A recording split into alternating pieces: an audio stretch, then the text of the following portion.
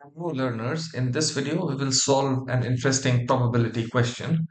So the question is, what is the probability of rolling the number 4 at least once when a die is thrown twice?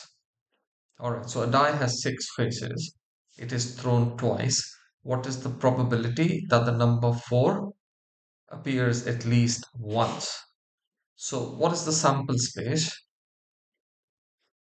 Or the possible number of outcomes.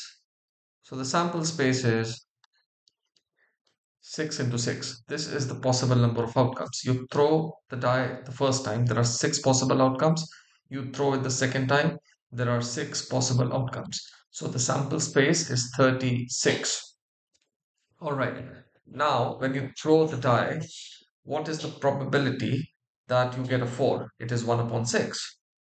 So what is the probability that you get so so so look there are there are if 4 appears at least once there are three cases.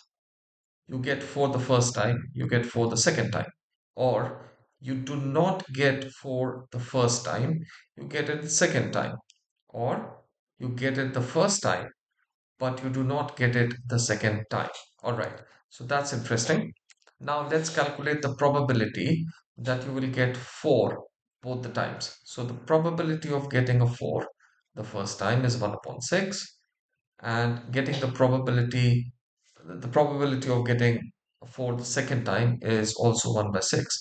So the probability that you get 4 both times is 1 by 6 into 1 by 6 which is equal to 1 upon 36.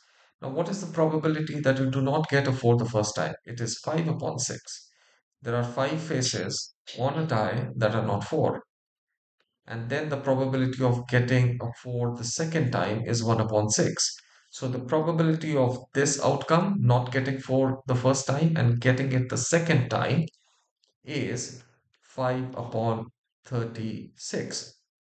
Now, what is the probability that you get a 4 the first time but do not get it the second time? It is 1 upon 6 the first time you get it the second time you don't get it it's 5 upon 6 so the, the probability of this sequence of events happening is 1 upon 6 into 5 upon 6 which is 5 upon 36 so the probability that either this this or this happens is so let's say the probability of this outcome is PA the probability of this outcome is PB, and the probability of this outcome is PC then the probability of getting a 4, let's call it PF at least once, is equal to PA plus PB plus PC, which is 1 upon 36 plus 5 upon 36 plus 5 upon 36, which is equal to 5 plus 5, 10 plus 1, 11 upon 36. This friends is our answer. I'll see you in the next video. Till then take care